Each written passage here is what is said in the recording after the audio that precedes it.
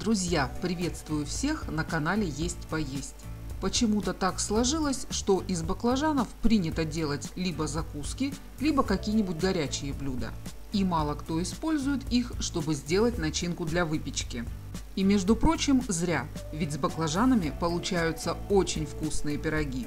Сегодня поделюсь с вами одним из таких своих любимых рецептов – этот пирог или галета делаются очень просто и быстро, а баклажаны в сочетании с орехами и хрустящим тестом обязательно произведут на вас впечатление.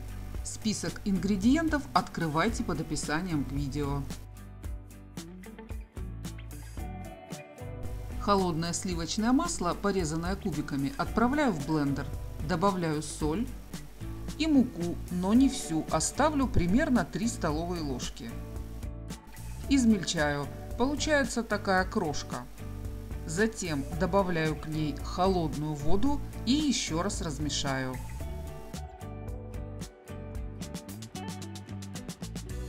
Высыпаю на стол оставленную муку и выкладываю готовое тесто. Затем немного вымешу тесто руками. Долго его вымешивать не нужно. Главное, чтобы оно перестало липнуть к рукам. При этом важно не переложить больше, чем нужно муки. Если у вас осталось лишнее, уберите. Ну вот посмотрите, оно должно получиться таким мягким и нежным. Далее тесто кладу в пакет и убираю в холодильник минут на 30. А тем временем сделаю начинку. У баклажанов отрезаю края, режу на 4 части вдоль, так как они у меня не крупные, а затем брусочками – Конечно, возможно, баклажаны можно порезать и кубиками, но таким образом, мне кажется, начинка получается нежнее.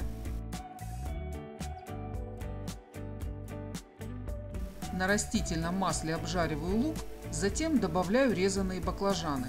Размешиваю и обжариваю все вместе. Я жарю до золотистого цвета.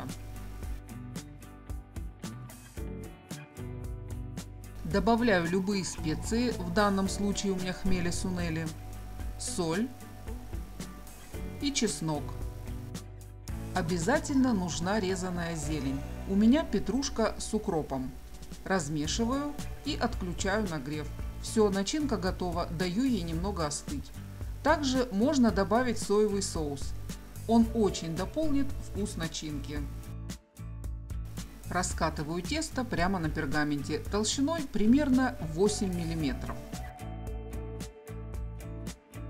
Отступив от края, выкладываю половину порции орехов тонким слоем. Кстати, предварительно их можно обжарить.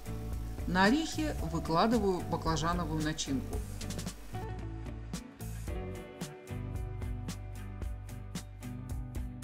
И сверху помидоры, порезанные тонкими кружочками.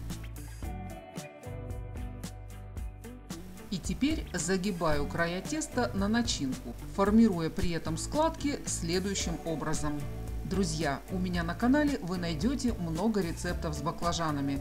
Например, рогалики с баклажановой начинкой, баклажановая пицца, всевозможные закуски и в том числе заготовки на зиму, а также рецепты галет, галеты с яблоками и тыквой и галеты с яйцами на завтрак.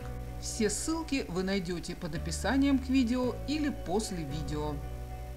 В завершении полностью посыпаю галету оставшимися орехами. Перекладываю вместе с пергаментом на противень и отправляю в разогретую до 190 градусов духовку на 30-35 минут, а вы ориентируйтесь по своей духовке. Эта выпечка хороша как в горячем, так и в остывшем виде. Посмотрите, какое тоненькое тесто и много-много начинки. Это тот случай, когда мы можем в полной мере ей насладиться. Ведь она получается такой нежной, сочной, ну а сочетание баклажанов, орехов и помидоров – это классика. При этом тесто отлично дополняет картину. Хрустящее, рассыпчатое, чем-то похоже на слоеное. В общем, обязательно испеките эту галету, попробуйте и впечатлениями не забудьте поделиться в комментариях. Если вам понравился этот рецепт, обязательно поставьте лайк. Подписывайтесь на канал Есть Поесть Смотрите рецепты вкусных заготовок на зиму и не только. А я желаю всем приятного аппетита, удачных экспериментов на кухне. Увидимся в следующих видео.